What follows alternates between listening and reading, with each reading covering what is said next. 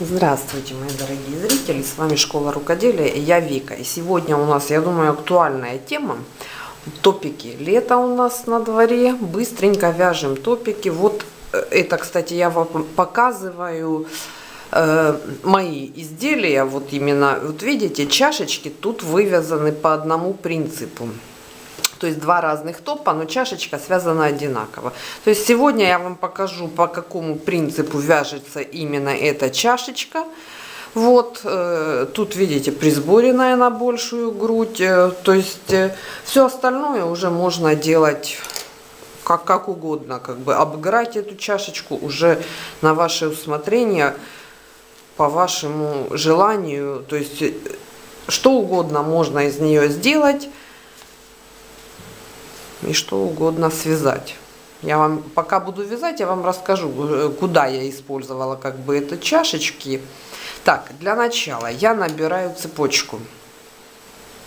Вот примерная высота этой цепочки, девчонки, я измерила, и я координируюсь как бы этими размерами всегда, в принципе, уже всегда, то есть 7 сантиметров начальная как бы высота этой цепочки.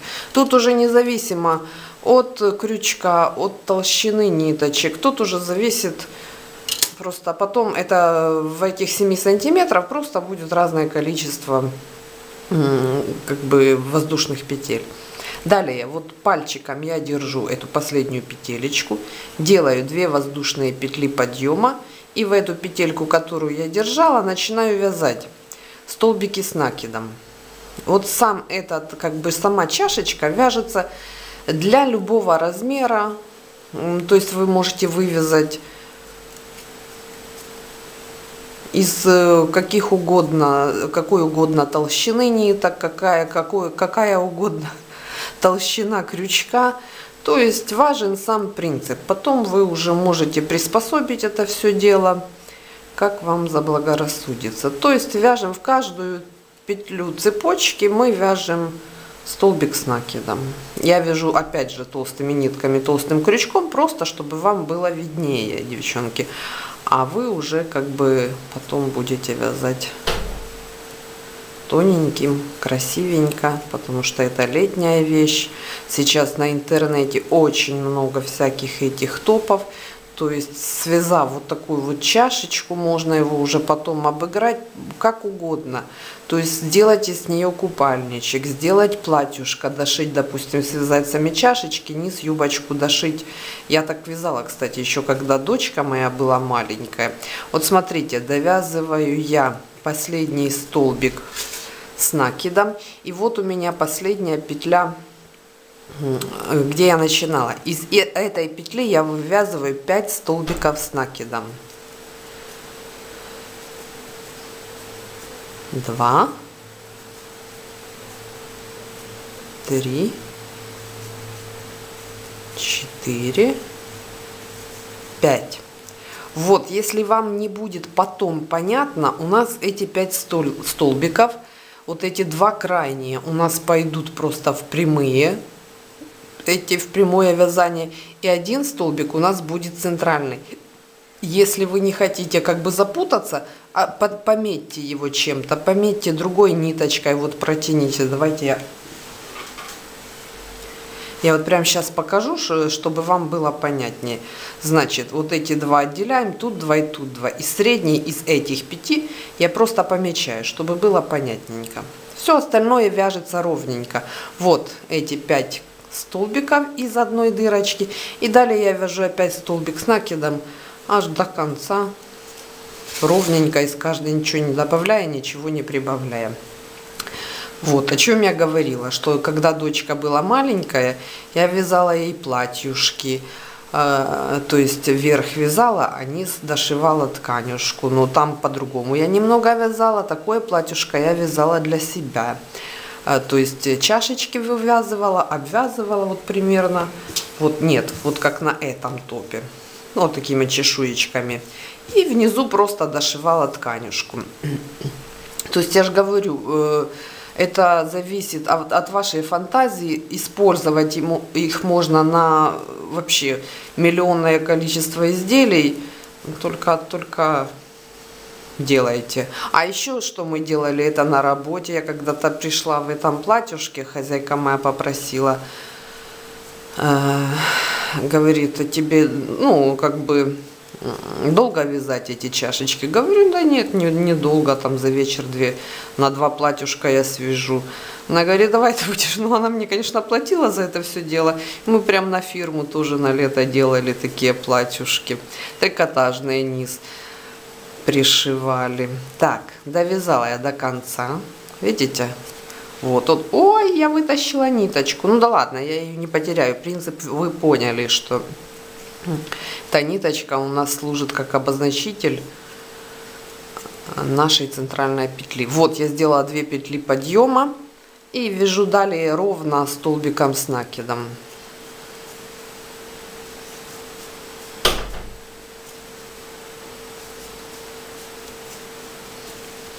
Вообще не сложно это все дело вязать.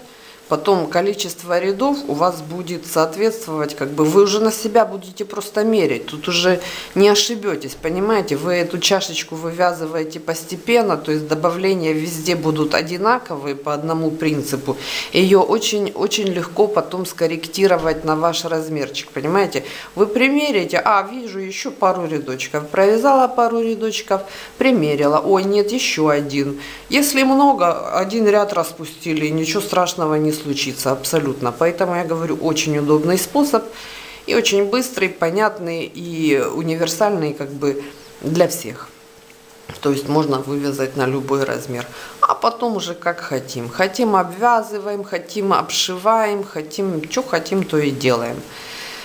Так, вот они две мои петли. Вот это третья, которую я должна была обозначить. Вот они две из этих пяти если видно вот эта розочка.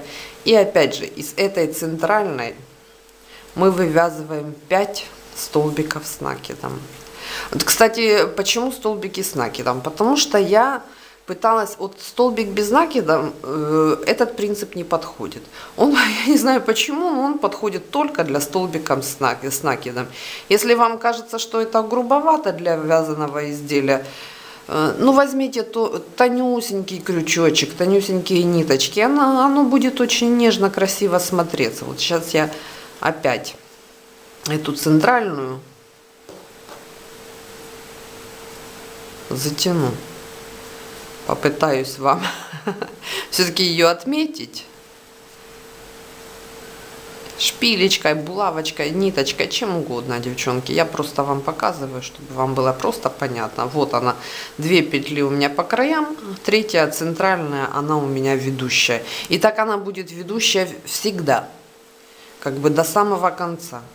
То есть ориентируемся по вот этой центральной петле. Из пяти, две в левую сторону, две в правую и центральная ведущая. Вот.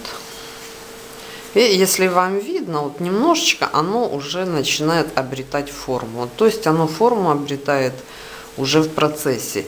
Еще что я могу сказать. Форма еще тоже грудь, знаете, у всех разной формы. Поэтому э, что посоветую, когда вы связали, вот одели на себя, и вы видите, вот где-то может быть топорыщица или, допустим, подтягивает, все исправляем утюжком с паром все, абсолютно все получится нами справить утюгом. Поэтому ничего не боимся. Вяжем и ходим красивые летом. Загораем. Кстати, девчонки, навожу супер-пупер большой шухер в мастерской, ну как, после зимы. Вот, хочу вам, очень скоро будет видео, хочу вам показать свою мастерскую. Я уборочку сделаю. Уже сегодня окошечки помыла, шторку постирала. А, в шкафчиках там в кое-каких.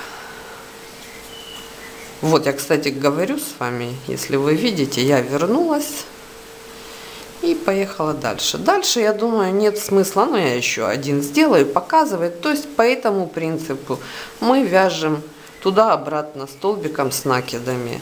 И в вершине нашей вот этой чашечки мы просто из вот этой ведущей петли делаем 5, 5 столбиков с накидом. И все, и вяжем до нужного размера. какой нужен нам. Я сейчас довяжу еще покажу, как оно начинает формироваться. И, в принципе, я думаю, дальше вам уже и рассказывать-то нечего. Я думаю, все я уже рассказала и показала то, что как бы нужно. А это вообще для самых начинающих отлично. Я видела, кстати, вот э, схемы на интернете сложные схемы. Есть попроще, есть посложнее. Что-то я даже, я их скачала, у меня было желание их попробовать, да и я оставила я это дело. Вот этот свой самый простой способ, я его сколько лет использую, и я же говорю, его можно оформить уже в любое изделие, и не мучиться. Вот тут видно, где моя эта ведущая э, петля. И не мучиться со сложными схемами, Э, где надо считать каждый ряд, следить. Мне кажется, этого способа вполне достаточно. Три, четыре, пять. То есть, по сути, мы добавляем в каждом ряду по две петли.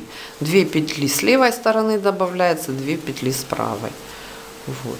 Чтобы было гладко, как на коврике, этого мало. Но для того, чтобы принял форму, приняла форму эта наша чашечка, этого достаточно. Вот я уже дальше, девчонки, вязать не буду. Вот оно видно. Видите, вот эти розочки, как бы такие звездочки, это наши 5 петель. И все, и оно уже принимает форму. То есть с каждым рядом оно будет вот так вот больше, больше, больше. И вы далее меряете на себя. Вот смотрите, все чашечки мои, все вязаны по одному принципу. Вот мы сейчас в этой стадии, да. Тут, кстати, у меня ниточки тонюсенькие, видно, что тут крючок тоненький. Тут я, видите, этот топик у меня такой, довязала прям подлиннее, он шнуруется сзади. Кстати, если вам интересно, если э, вы хотите, можем это все дело продолжить. Э, Какой-то из этих топов я вам сниму а можно и вообще какой-то новый. Ну, я же говорю. Вот это, кстати, с интернета, а этот я сама как-то сделала. Это у меня мотивация с интернета была, как бы идея с интернета. Видите, сзади он открыт, то есть шнурочки. И за шею шнурочки. Вот так вот. И тут такая сеточка. Тоже очень простенький узорчик. Если хотите, можем сделать. Для начала просто чашечки. И здесь вот видите наши звездочки если вам видно, все они идут друг над, друг, э, над другом. Вот, здесь финиш. То есть, я думаю, принцип вам понятен. С вами была Вика из школы рукоделия. Всем пока-пока.